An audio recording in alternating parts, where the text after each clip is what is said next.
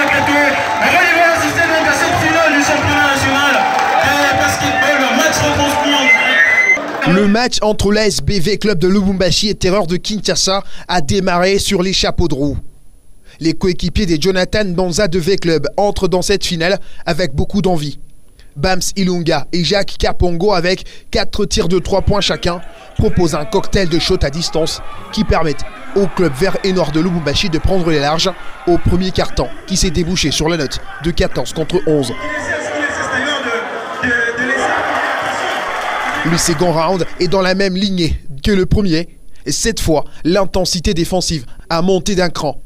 Les athlètes de BCV Club continuent de régaler le public présent au stadium de Chitoro.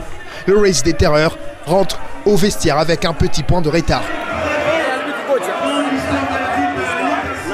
Au retour, les clubs de Kinshasa élèvent son niveau de jeu grâce aux pénétrations balles en main de Messi Mboukou, bien surveillé au premier, mais cette fois-là excellent. Au quatrième, l'homme fort des Raids sort de sa coquille, le score devient très serré.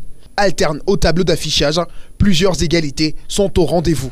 Mais V-Club va compter sur l'expérience des Jonathan Danza qui va réussir des tentatives permettant au club louchois de s'imposer 70 contre 62. Le BCV Club messieurs qui n'existe que depuis 2019 détrône Espoir Foucache, vainqueur dès l'édition précédente, obtient ce premier titre 4 ans après sa création.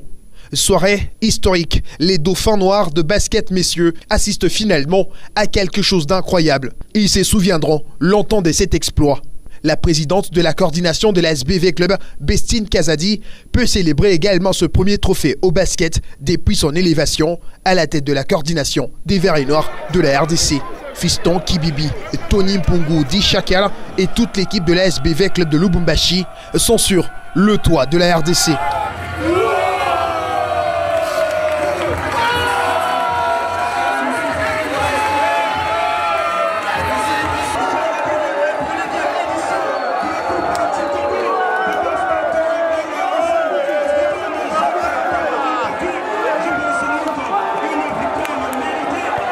À titre des récompenses individuelles, V-Club a également beaucoup raflé. Jack Capongo, qui a planté à lui seul 18 paniers à 3 points, et les meilleurs tri-pointeurs de la compétition, alors que Rolly Fula, meilleur marqueur, et Rehobots de Kananga, équipe révélation.